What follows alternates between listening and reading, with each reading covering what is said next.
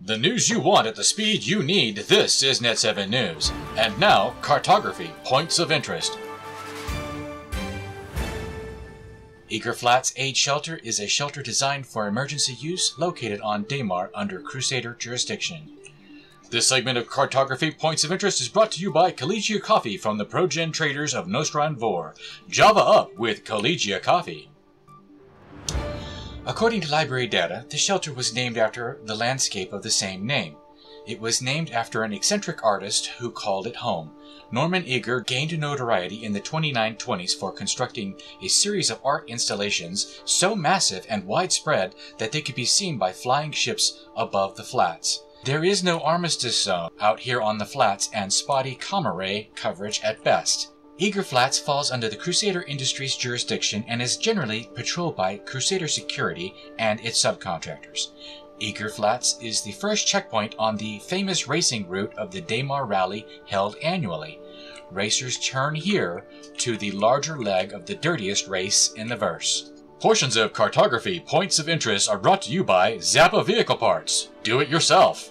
The fighters you see on the ground here are part of a Skunkworks task force preparing to carry out a combat exercise. Unbeknownst to this reporter, Skunkworks were heading to Eager Flats to run a team v team event to test the composition sizes of our new task force org structure. The task forces aim to be around half a server's worth of people with a mix of ground, fighter, and large ship capabilities, and we believe this will greatly improve our members' experiences and have them see more of a share in the action. Not to mention making organised battles that much easier to run on a regular basis. While Packrat the reporter didn't know what was coming, we were forming up at Ambitious Dream Station. My Raccoon team was part of Task Force Alpha, and Naptime was heading up Task Force Bravo, with Alpha using white arm armor and Bravo using red. The objective here is to capture and hold Eager Flats aid station on Daymar, and excitement among the skunks was high. You red armed bastards and your your your heretic red arm ways. Everybody knows that white arms are the only true arms.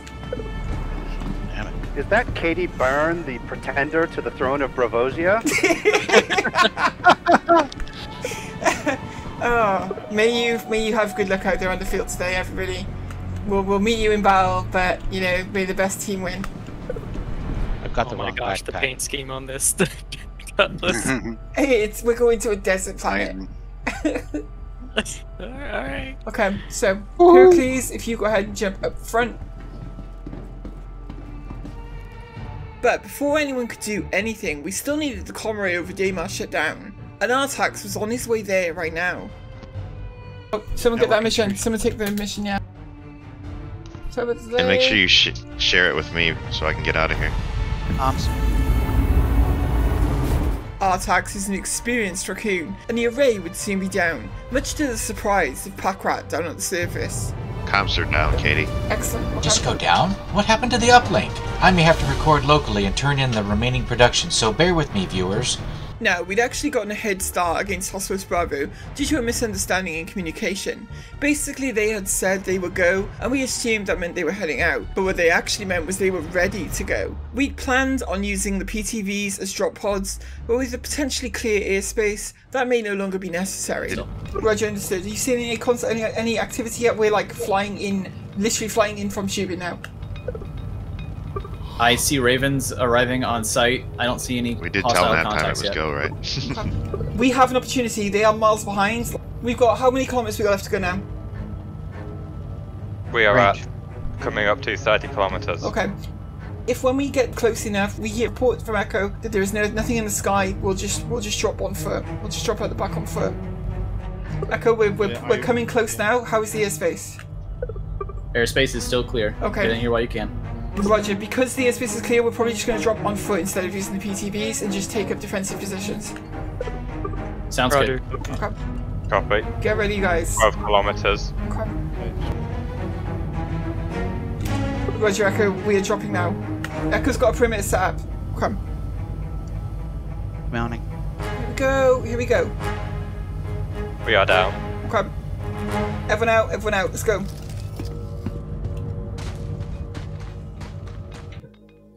Ladies and gentlemen, viewers, I believe something is happening.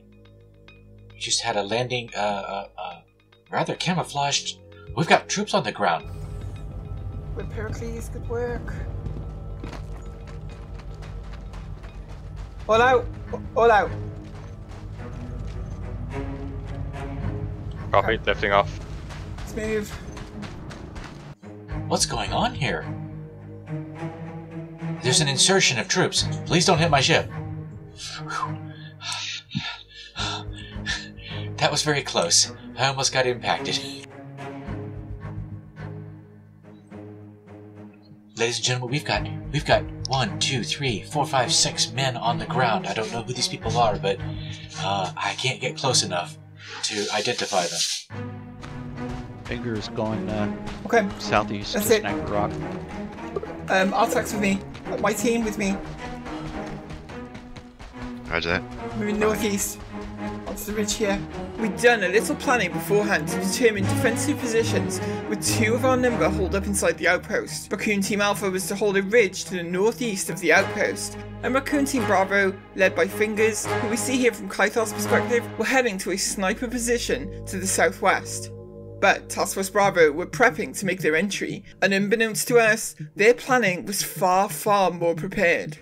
Plan from this point once we get the word that the other team is ready we're going to be aligned to crusader. Everyone will warp to crusader individually and drop out of warp once crusader is larger than their reticle. You want to drop out while you are in the crusader planetary system from there you will turn right and warp immediately to daymar once everyone has dropped out of warp from daymar your captain needs to report to command that you are in orbit around daymar and ready and aligned to eager flats on the surface And we're already late to the party. Fashionably late, though. Fashionably late. is everyone in orbit around daymar Yep. roger hold Yep. In orbit. Redeemers status? Are you in orbit around Daymar? uh, Redeemers Ravens good. are in orbit. Redeemers are good. I'm just trying to get there myself. All stations engage. Warp to Eager Flats Aid Shelter in five, four, three, two, one. Warp. Durgan was doing an outstanding job of executing Naptime's plan, and the synchronization of Force Bravo was just incredible.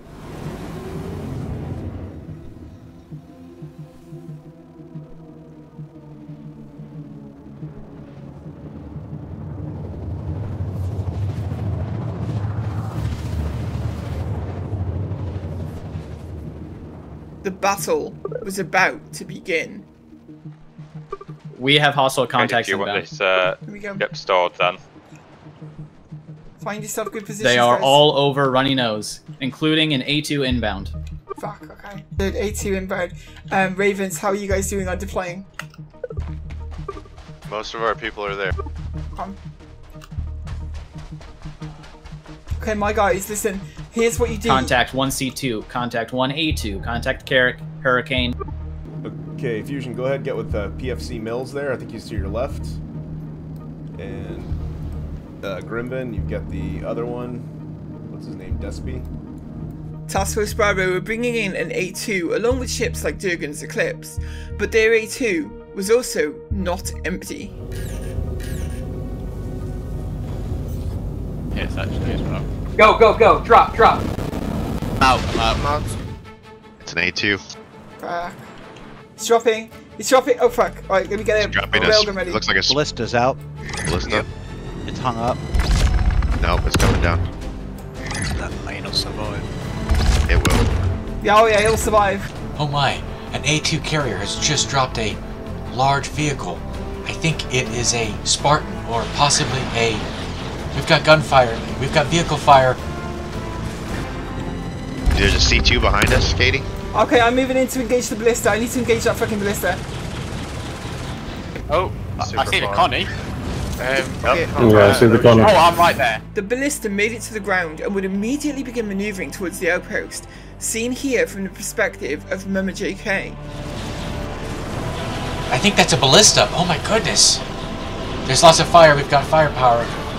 We've got fighters and we've got A2s on the ground. It looks like an entire engagement. Oh, the A2 just blew up. It's now our wreckage on the ground. If you could just cover, because I think it's going to move past me now. It may have already moved past me, in fact. Oh, I got the ballista coming after me. Yep, see it. Fingers has eyes on. Engaging.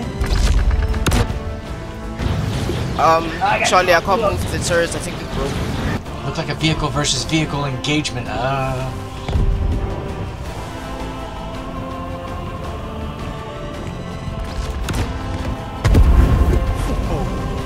Lots of countermeasures flying off. Yeah, okay, Ballista's fucked. Ballista's gone.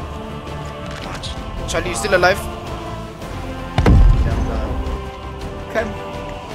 Keep an eye on the out, out, The outpost, ballista's guys. still the ballista's still moving. The ballista's still moving. I just saw it explode. Unbeknownst to me, Task Force Bravo dropped a second ballista, seen here from the perspective of SB-57, and it too had moved up to the outpost to unload troops.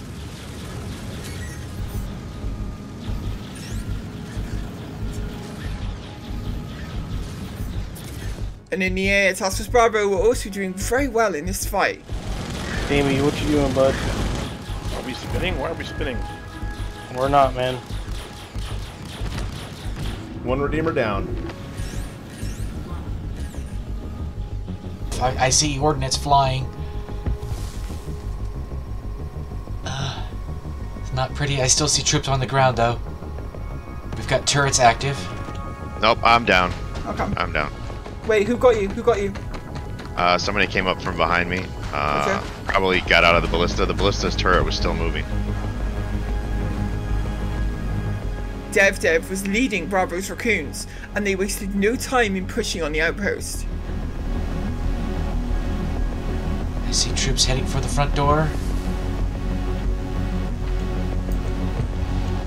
See movement towards the door. Something's coming oh, Attack, are you, are you wounded? Yeah, oh, or are you dead?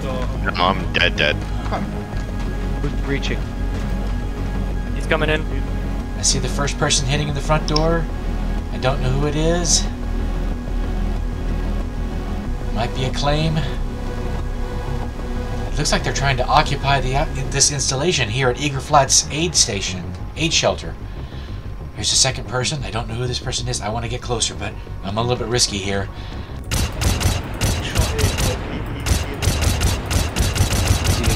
Is he?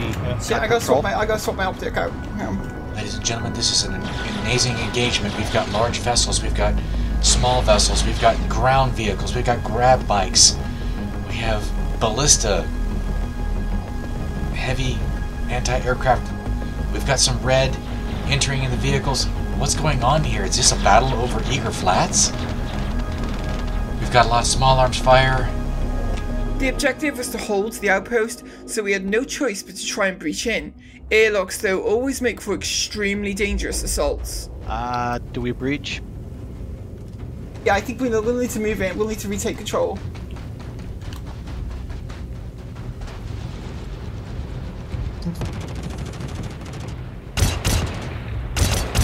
Kythar. Kythar. I got I got Ash. some at the door. I got some at the door. Okay, my Ash, team reeled join on me fight, at the Python. ballista. At- I'm pushing up the hill. I'm on now on the east oh, side. Shit, I'm on fire. Got some hits. There's two inside now. Yeah, I just saw someone else enter. There's a lot. Of, there's a hell of a lot of smoke around here. Rick, okay, Rick, can you make your way to me? Yes, um, be- right behind you. Okay, excellent. Okay, we're gonna need to push up there and try and try and take this thing. Okay. I think it's I think it's their bikes that are uh, dusting the site. They have two bikes sitting outside. Yeah. Look out! Look out! Watch the door! Watch the door! I, Might want to put a fresh mag in for this. Oh, airlock is cycling. Get ready. The airlock quickly reverse cycled. We didn't know this, but DevDev's plan was to cycle the airlock from their side as quickly as they could, so we'd have little or no time to prepare for firing. control. He's just passed out. Okay. I'm cycling it. Ready? Let's move into the airlock. Okay, ready? Get ready. 'cause they- Spawning is being remember- hugely delayed by Grimhex head location. Ah, I'm uh, down, I'm down. head Down. Situation. Dev Dev's plan had worked perfectly, and our initial assault had failed completely. Our task force were having some victories in the air, however, as we had the legendary Echo 109 among our fighter support. Oh, no, I'm down. You had Echo on you, dude. Yeah, I did. This Hawk is bugging out. I just ejected sideways. That's gonna be fun. I'll make it down and survive. Oh, I'm dead. Eventually though, Task Force Bravo's air cover reached our Romanian Raccoon team, forcing another entry attempt from Fingers and Kaithar.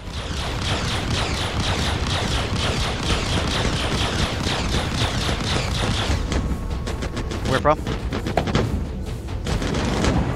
Cycling.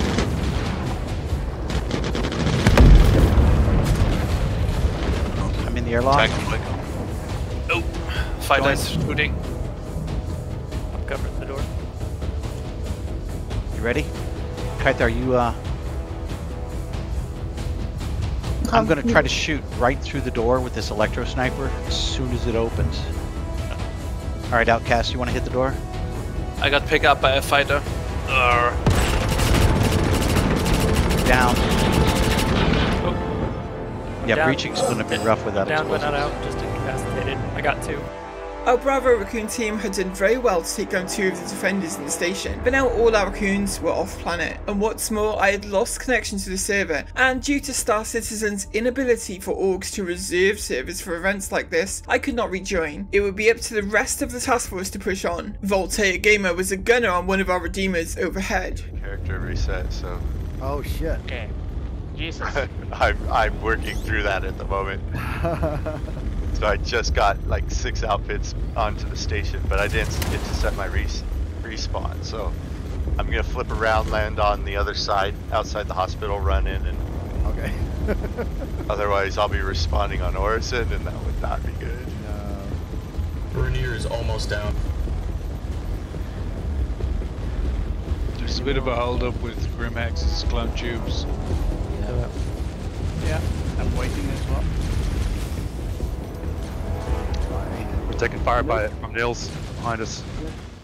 As night fell though, Task Force Bravo had pushed our side back to a ship battle far above the surface. Hostile Gladius is inbound above. 105. Missiles are coming in.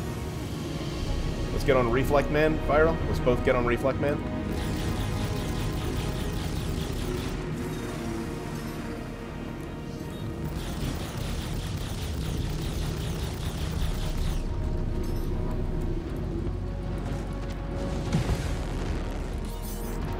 My remaining raccoons would reorg and insert again. Uh, we were at 15 kilometers. There's a few more targets popping in. Okay. Uh, any of them coming towards us? We have a cutlass. We also have a hurricane. We have been detected. Yeah, by Okay, how far are we? We are at 10k coming into land. Okay, drop, drop, drop. Let's go. Yeah, let's go. Geronimo. Ravens mustering at OM2 underneath Yela. They had a lot of ground to cover, which after our recent Jumptown experience is nothing we're new to, but by this time, Task Force Bravo had truly secured the site. Yeah, uh, they have that whole facility lit up like a candle. Yeah, so trying to make a head head first run at it is going to be suicide. Yep. This is the jump town Yeah. situation. We need a Yeah, we need. Yeah, we need to just wait, look for snipers, uh, and just wait for air cover. The Wargame event had been a decisive win for Task Force Bravo, and I want to congratulate them on an outstanding planning and execution. It is our aim as an org to learn from these Team v Team events, and I am very impressed with the planning that time put into motion on this one. We certainly have some valuable lessons to learn. We also learned that lowering the task force numbers slightly might help with people being able to rejoin if they lose connection. It is unfortunate that loss of connection occurs commonly, and because orgs have no way to reserve server slots for these kind of events, it makes things very difficult if you push the numbers to maximum each side. If you lose connection and a random person joins your server, well, you have no way of rejoining your own event. Seeing as org v org events are kind of a really important aspect of Star Citizen, it would possibly be a good idea for CIG to create some kind of accommodation for server reservation. I want to thank all of the skunks that attended this event. It has been a difficult and uncertain time at the org with the structural changes we're going through, and you guys have made that process much, much easier to move forward with. And above all, I want to thank Packrat, who was on our server as an in-game journalist. Packrat had asked us if being overhead was okay beforehand, and I agreed thinking it was just going to provide a bit of overhead footage. I never expected the amazing role-playing as an on-the-scene reporter though. Just amazing. I want to thank all of you for watching too, and send out a huge thank you to all of our patrons, who you can see on screen right now. And in this video, I would especially like to thank Cliff Mitchell, who recently became a supporter of the channel over on Patreon. Thank you, Cliff, for your very generous support. Patrons like you are what make these videos possible. We'll be back with more from Skunkworks very soon.